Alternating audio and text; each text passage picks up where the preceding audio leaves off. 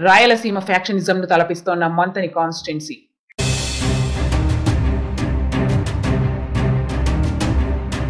మర్డర్లకు care of address Mantrapuri కానుందా?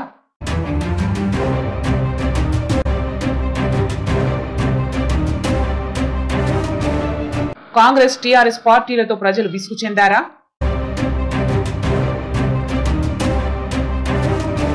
రణరంగంగా మారిన మంతని రాజకీయాలు.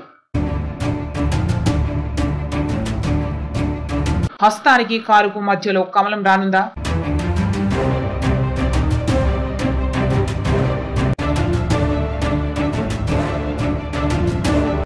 మంత్రి నియోజకవర్గంలో ఇద్దరు ఇద్దరే. వీరిరువురి మధ్యలో మరొకరు రానున్నారా?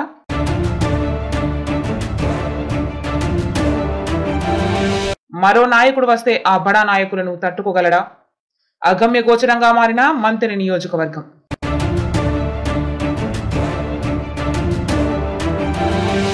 మారణకాండను తలపిస్తోన్న మంత్రి నియోజకవర్గంలో విసుగు చెందిన యువనేత చంద్రుపట్ల సునీల్ రెడ్డి కామెంట్స్.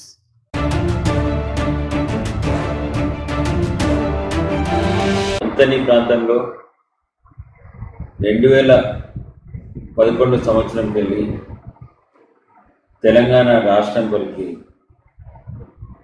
నేను అమెరికాని ఉద్యోగాన్ని అన్ని కూడా వదిలిపెట్టుకొని తెలంగాణ ఉద్యమంలో పాల్గొంటూ నా వంతు కష్టం నా వంతు ఉద్యమం పోరాటం చేయాలని ఒక భావనతో నేను ఇక్కడ మంతని ప్రాంతంలో తెలంగాణ రాష్ట్రం ఏర్పడడానికి చాలా కష్టపడ్డా. ముఖ్యంగా ఈ తెలంగాణ రాష్ట్రం కొరకు మంతని ప్రాంతంలో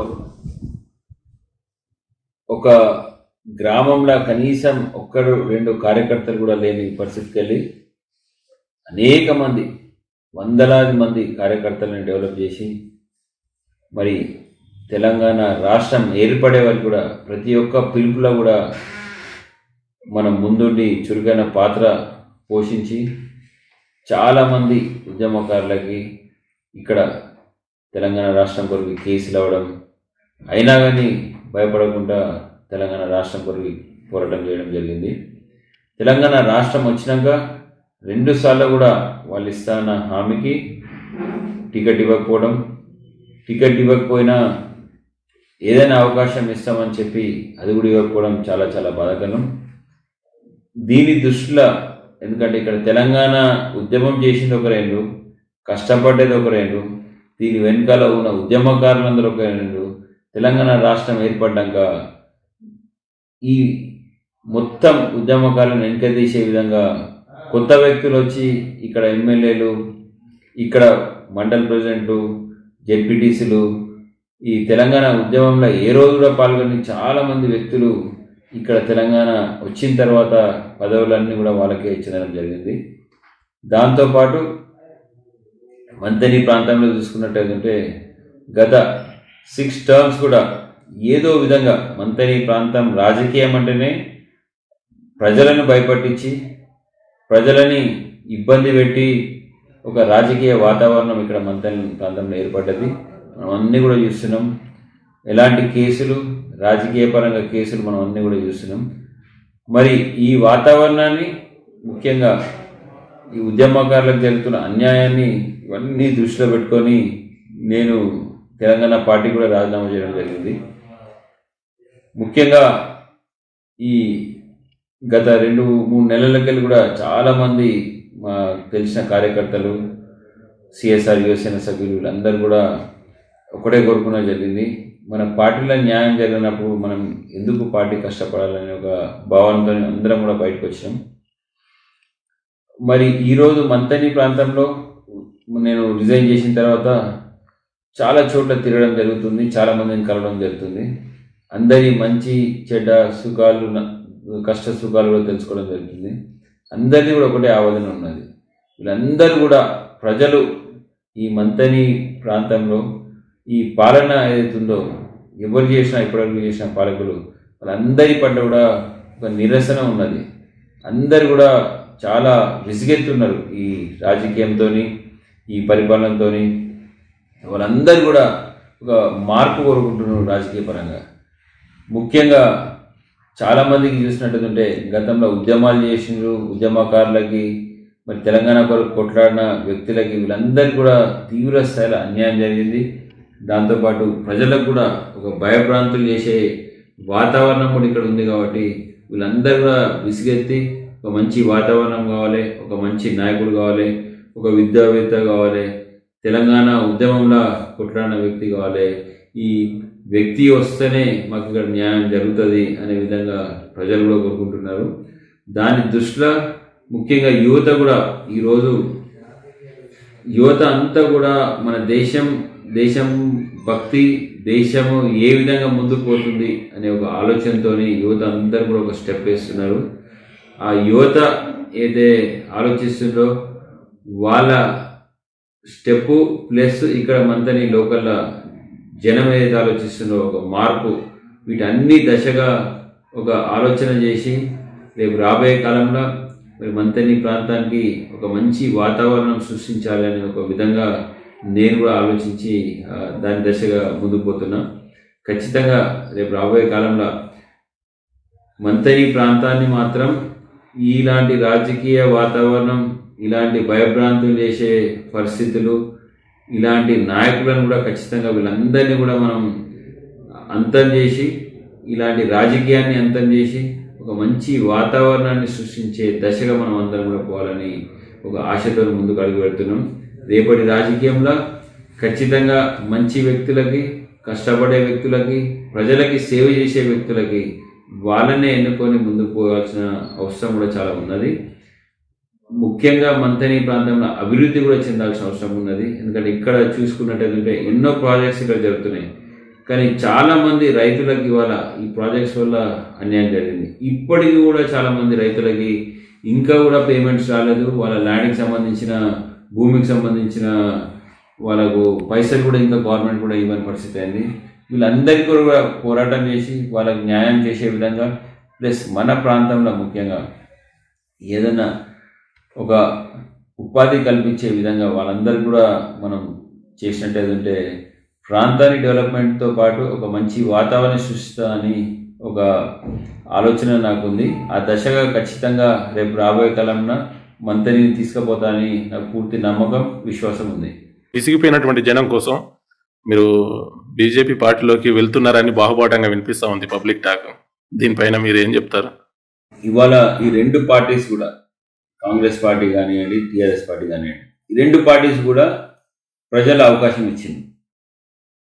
ఒక టూ టర్మ్స్ రాజశేఖర రెడ్డి గారికి ఇచ్చిండ్రు తర్వాత టూ టర్మ్స్ కేసీఆర్ గారికి ఇచ్చిండ్రు. ఇవాళ ప్రజలు మార్పు కోరుతున్నారంటే మళ్ళీ సేమ్ పాత పార్టీకి ఇచ్చి సేమ్ విధానాలకు పోయే పరిస్థితిలో ప్రజలు లేరు.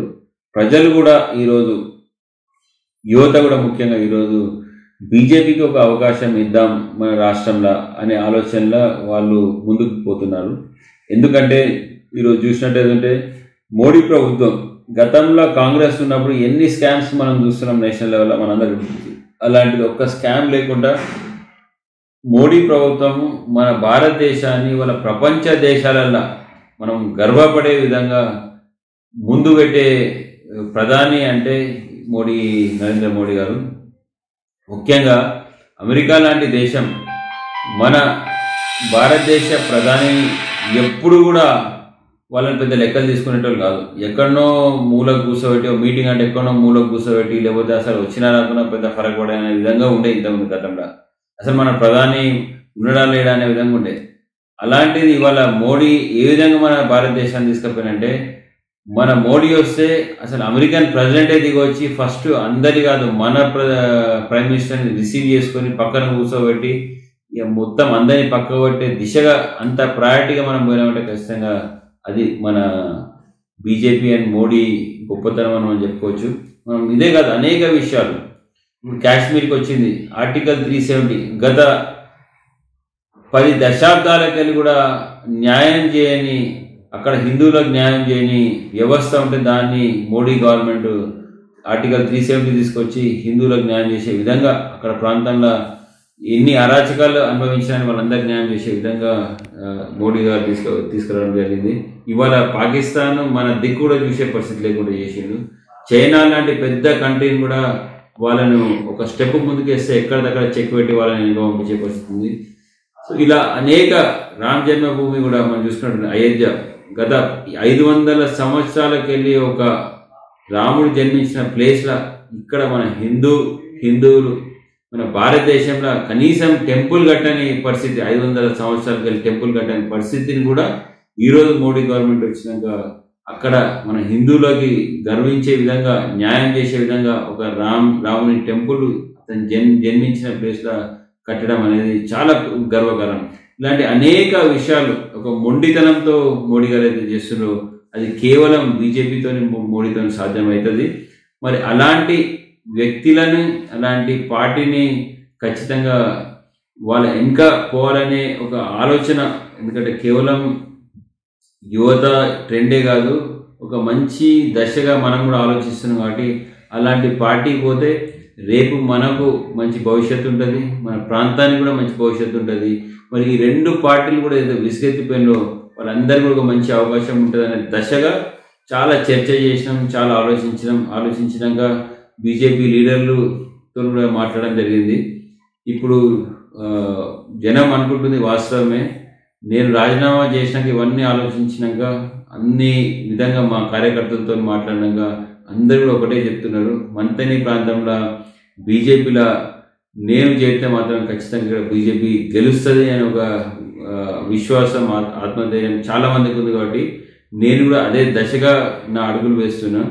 డేట్ అనేది ఇంకా ఇవాళ రేపు కన్ఫర్మ్ అవుతుంది. సో ఖచ్చితంగా బీజేపీకి జాయిన్ అవ్వడం అనేది దాదాపు ఖాయమైనట్టే అలా ఎలాంటి అనుమానం కూడా లేదు.